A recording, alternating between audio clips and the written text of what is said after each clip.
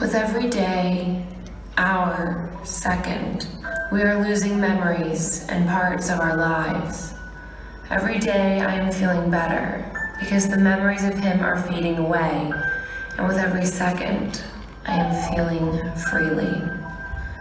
I still feel his hand on my neck, whiskey breath of his screaming. Still have the feeling in my bones from the moment I first met him.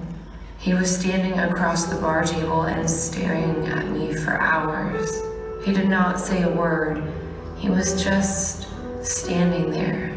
And that was the moment where it all began. The moment when he began to drug me.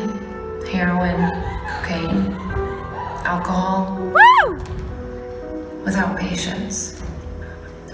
At the beginning, I didn't know how to act, so I got bruises all over my body. After a while, black spots on my skin had become my daily lifestyle. My sorrow became happiness. I didn't smile because he hated it, so I forgot how to laugh.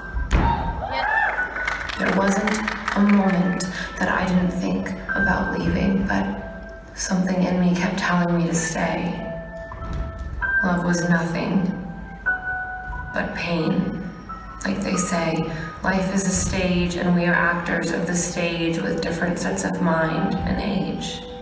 I didn't have a chance to act because his character didn't let me play. I hurt with just the thought of you.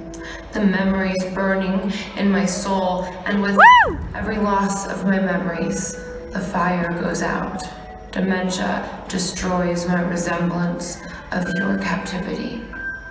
I forget your face, your smell, the sound of your steps. I cannot remember even a single memory. But I am here in this room, breathing air with you, and I am free.